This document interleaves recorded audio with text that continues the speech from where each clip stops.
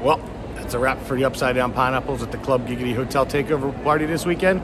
We had an awesome time with John at Club Giggity, Secret Society in New York, New Jersey, and WYLD, all co-host.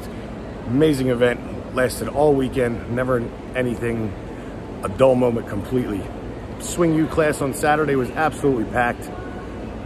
And then our two and a half hour podcast with all of our great friends, all the co-hosts of the event, our new friend Lexi, and so much more. Make sure you check out the website for all of our updates at theupsidedownpineapple.net.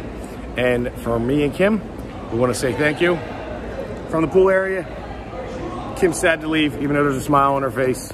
But we will talk to everybody Wednesday night. Between now and then, check out the website. Have a good one.